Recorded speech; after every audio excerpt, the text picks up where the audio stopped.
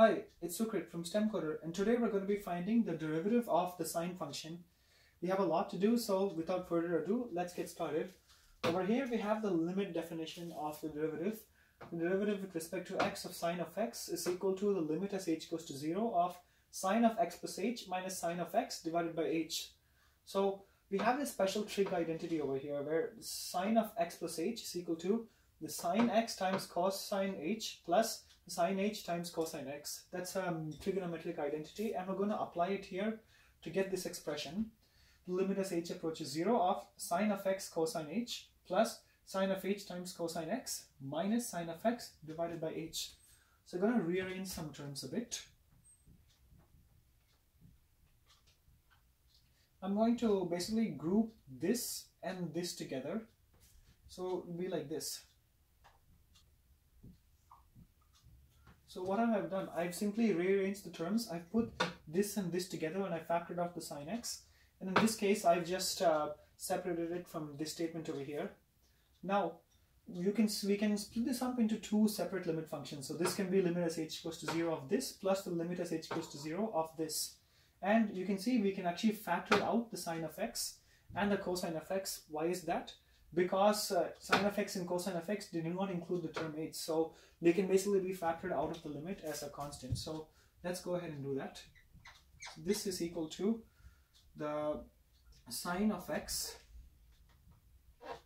times the limit as h goes to 0 of cosine of h minus 1 over h plus cosine of x times the limit as h goes to 0 of sine of h over h. So you can see that we've basically come down to two limits we need to find. We need to find the limit as h goes to 0 of cosine h minus 1 over h and we need to find the limit as h goes to 0 of sine h over h and that's exactly what we're going to do right now. First, we will find the limit as theta approaches 0 of sine theta over theta. I'm using theta instead of x for this proof.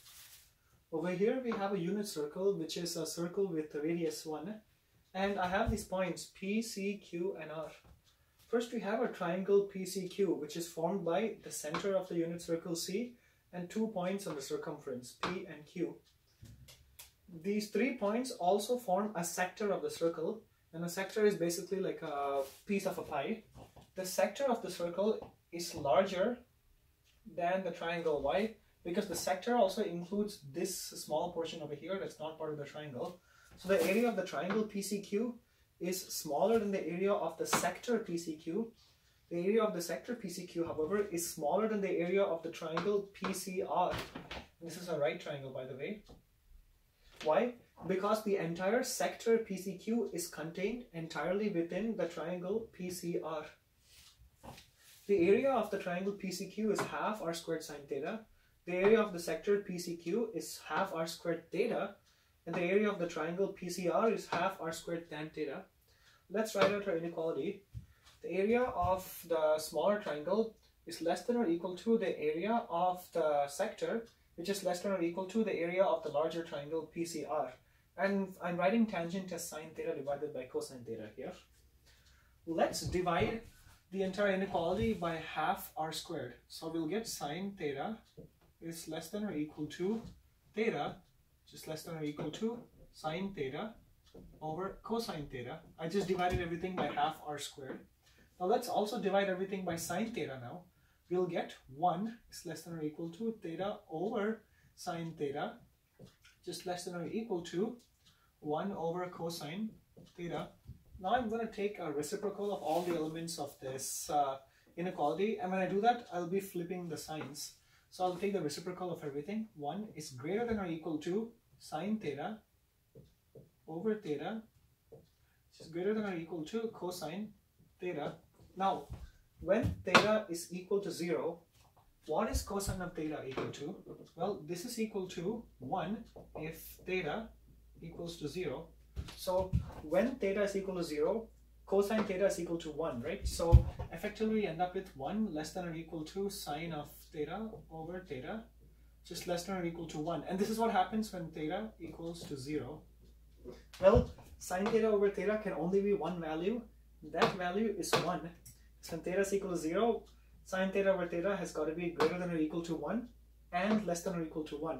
So the only possible value sine theta over theta can take on when theta is equal to 0 is 1. So this over here is equal to 1, 1.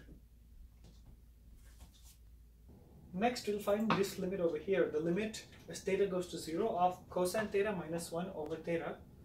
First, we're going to multiply this expression by 1 plus cosine of theta over 1 plus cosine of theta to get this over here, cosine squared theta minus 1 over theta times 1 plus cosine of theta. All I've done is multiply this by 1 plus cosine theta over 1 plus cosine theta.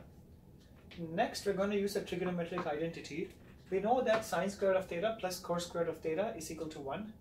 And rearranging terms, we get that cosine squared theta minus 1 is equal to negative sine squared theta.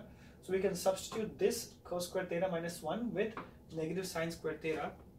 Now I'm going to split this into two limits. This is going to be the limit as theta goes to 0 of sine theta over theta times the limit as theta goes to 0 of negative sine theta over 1 plus cosine theta.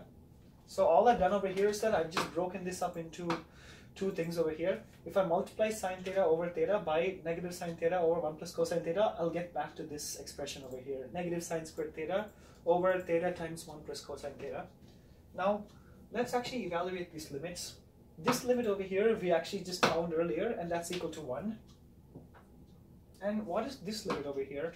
Well, we know that sine of 0 is equal to just is just equal to 0 and 1 plus we know that cosine of 0 is equal to 1 so this equals 1 times 0 which is just equal to 0 so we've seen that this limit over here the limit as theta goes to 0 of cosine theta minus 1 over theta simply evaluates to 0 now that we've solved these two limits, it's time to put everything together. This is equal to sine of x times 0 because over here this thing is simply equal to 0 plus cosine of x times this thing over here is just equal to 1 and this just simplifies to cosine of x. So we have found that the derivative of sine x is equal to cosine of x. Simple, isn't it? We did all this work just to get from sine x to cosine of x. But this is an extremely important derivative. We'll be using it a lot in the future, so just remember, the derivative of sine x with respect to x is equal to cosine of x.